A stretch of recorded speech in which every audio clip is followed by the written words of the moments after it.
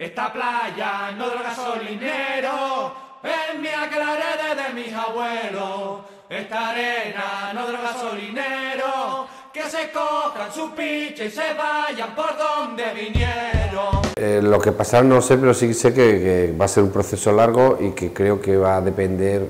mmm, el futuro de si realmente se extrae o no se extrae petróleo de, digamos, de tres escenarios. El judicial, en el que es posible que se gane la batalla igual que se ganó en el año 2004,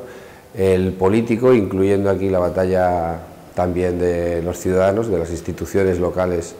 frente al, al gobierno español, y del ámbito empresarial, porque dependerá de los intereses, y esto es una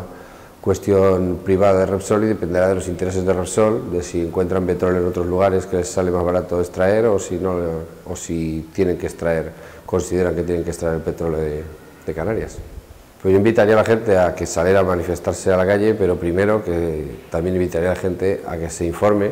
sobre este asunto, que se informe bien, que no se deje llevar por,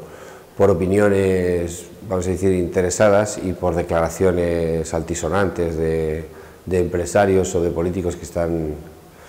que, repiten, digamos, los argumentos de Repsol, que se informen que hay muchas maneras de informarse, sobre todo en la red, y después que se hagan, que piensen si, si, están a favor o en contra. Yo creo que si alguien se informa bien y, y aglutina todos los, los, argumentos, tanto medioambientales como económicos, creo que acabará estando en contra y que si es así,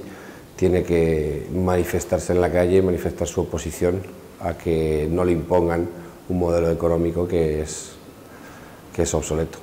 Esta playa no del gasolinero es la heredé de mis abuelos. Esta arena no del gasolinero que se cojan su piche y se vayan por donde vinieron.